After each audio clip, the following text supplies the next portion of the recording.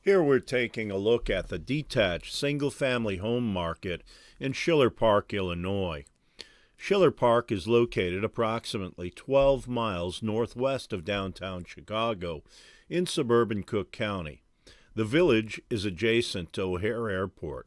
According to the census, the population is approximately 12,000.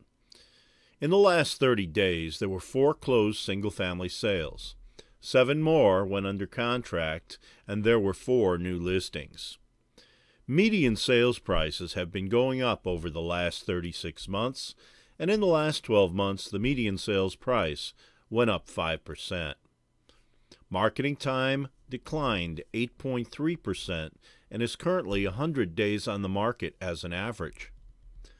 Based on the present level of absorption, right now there's 5.5 months worth of available inventory listed on the market for sale. This level is considered an oversupply. And in the last year, bank owned and short sales accounted for approximately 27% of total sales. Citywide Services performs residential real estate appraisals in Chicago and suburbs. Our appraisers are state certified and perform appraisals for all purposes. Give us a call at 708 449 4100 or visit us on the web at www.appraisercitywide.com.